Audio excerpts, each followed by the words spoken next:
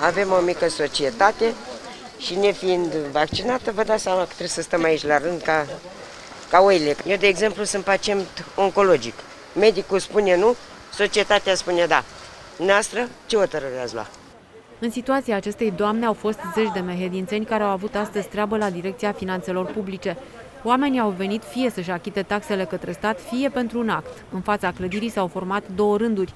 Unul la care s-au așezat cei vaccinați, care au avut acces în clădire, dar își așteptau rândul pentru a respecta distanțarea socială, și cei nevaccinați, cărora nu li s-a permis deloc accesul.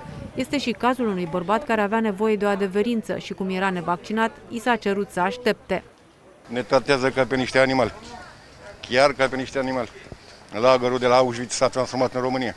Nu am nicio vaccin. Ce treabă aveți la Să ridic o chitanță, de fapt, da. Tot așa. Să așteptăm, să așteptăm. Stăm la cozi peste tot. Ce să facem? Nu v-au permis accesul. Nu, nu, am avut primul vaccin. Doar primul. Da.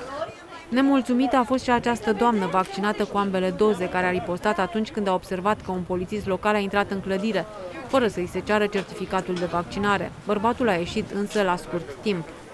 Mi-este teamă, normal că mi-este Ați teamă. făcut vaccinul.